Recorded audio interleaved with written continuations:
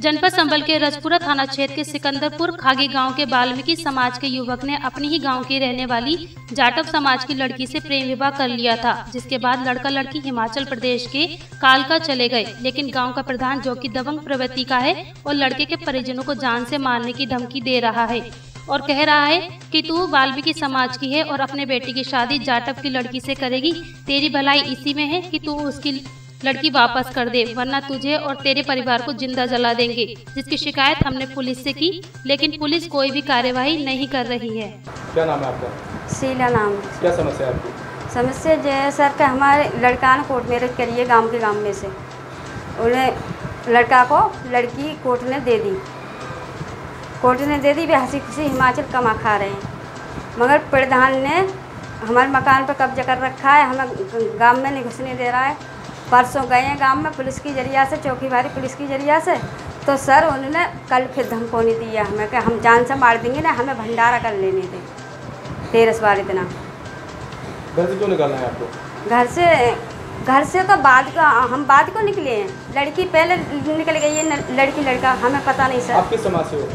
हम? वाल्मीकि सर। और लड़की? लड़की जाटव है सर। तो दोनों लव मैरिज की है? लव मैरिज की है सर। तो इसमें किसी को क्या दिक्कत है? प्रधान को दिक्कत है, सर। समय प्रधान हमें गाँव में नहीं घुसने दे रहा है, सर।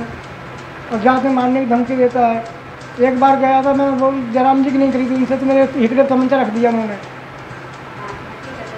और सर, फिर बीमार पड़ गई, मेरी घरवाली उसको मैं बुलाने गया ड- डॉक्टर के लिए तो मैं सर सर चार पाँच चप्पल मारी उसने, सारे जयराम जी नहीं करता है। अब अभी गए थे दरवाजे साहब ने हम अंदर घर पहुँचाए हम, घर पहुँचाने के बाद उसने एक तो सारे मतलब थोड़ा जो बच्चे जल लेके आए उसके बाद में तुम्हें देखता हूँ मैं। जिंदे में आग लगाऊँगा तुम्हें सारे गाँव में नहीं रहने दूँगा मैं। सर ये हकीकत है और हमें सर सब जगह हमने जो भी एप्लीकेशन सारी जगह दे चुके हैं। हमें न्याय मिलना चाहिए सर। पुलिस के पास गए क्या हुआ? हाँ पुलिस के पास गए थे सर। चौकी वाले ने जाकर के कंडे फंडे उसमें अगले भरे हुए थे उन्होंने निकलवा दिए सर। निकलवाने के बाद उन्होंने बोला अब कोई होती है मुझे फ़ोन करना। खुद फ़ोन किया सर। तो बोले खुद फेंक दो। तो प्रधान ने वहाँ से कहा और रात को रुकने दो के लिए फिर रात को देखते हैं हम। सर रात में भाग जाए वहाँ से जान बचा करके। दोबारा पुलिस के पास दोबारा नहीं गए साहब हम। क्यों? इसलिए नहीं गए कि जब फ़ोन करते हैं तो दरवाज़ा साहब ये कर देते हैं तो जो भी होगा बाद में फ़ोन कर लेना।